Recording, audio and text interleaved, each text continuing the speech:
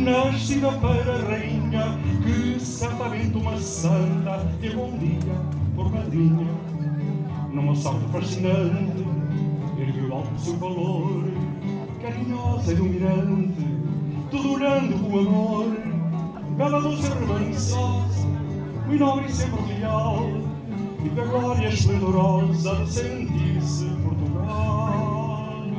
Boa noite a todos, espero que possamos todos em conjunto viver um momento especial, que é isso que eu creio que de forma coletiva todos estamos à espera. Mas permitam-me nesta ocasião muito especial e sobretudo muito especial para nós que somos do Conselho de Óbidos,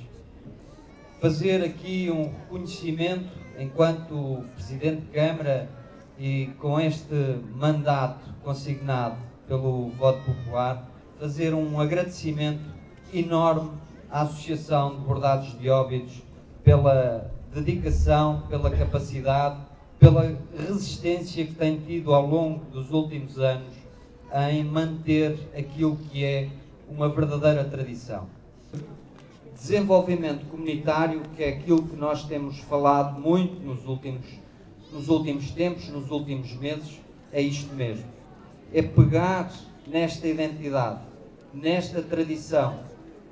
procurar olhar para aquilo que nós temos de melhor, que é o nosso capital intelectual, seja das gerações mais passadas ou mais jovens, e transpô-la efetivamente, traduzindo riqueza para o Conselho e, sobretudo, apostando nas pessoas, no talento das pessoas, retirando algumas pessoas de circunstâncias difíceis ou porque estão infelizes no, no, em determinada circunstância, porque não gostam do seu trabalho ou porque precisam de mais, nós procuramos exponenciar e potenciar este património,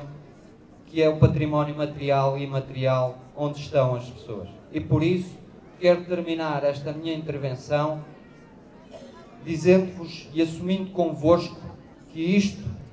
é o ponto de partida para esta Associação Bordado de Óbidos para os bordados de óbidos, porque daqui a um ano espero que esta associação e o Espaço O continuem a trabalhar para podermos estar na presença e na inauguração de uma nova loja de bordados de óbidos. Muito obrigado a todos.